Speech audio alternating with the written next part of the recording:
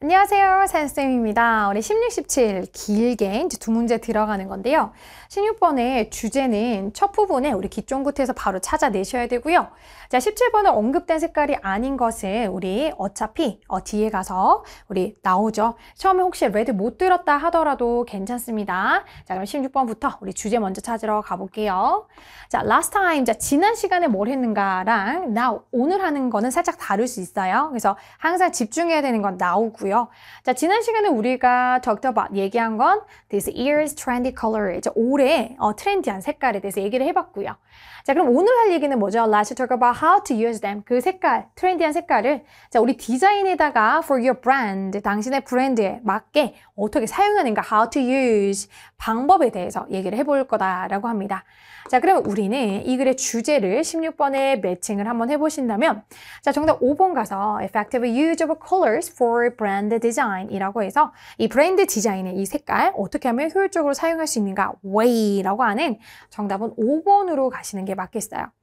자, 그리고 이제 색깔 red부터 이제 시작을 하는데요. 자, red, yellow 이렇게 넘어갑니다. 자, 그럼 처음에 red 바로 나오죠. 바로 곧바로 나와요. 그래서 red 살짝 못 듣는 친구들이 있어요. 하지만 1번은 보통 정답이 잘 안 되니까 걱정하지 마시고요. 자, 그리고 두 번째 나온 색깔이 오렌지입니다. 자, 그리고 또 세 번째로 나온 색깔 뭐 있을까요? 그죠? green 보이고요. 자, 그리고 마지막으로 lastly 하면서 한 번 더 띄우죠. 바로 blue라는 색깔까지 나오게 됩니다. 자, 그럼 우리가 듣지 않은 색깔은요. 2번에 옐로 듣지 못했습니다. 자, 그래서 정답은 2번 되겠습니다.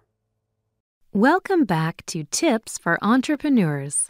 Last time, we talked about this year's trendy colors. Now, let's talk about how to use them in design for your brand. Understanding the art of using colors can help create more effective and memorable designs. For example, using red for important elements will make it hard to ignore them. It's no coincidence that so many fast food logos are red. Orange communicates creativity and youth, which is perfect for a bold brand. If you're trying to get your customers excited about something, go for orange. Green, on the other hand, can communicate lots of different ideas, like luck, wealth, and freshness.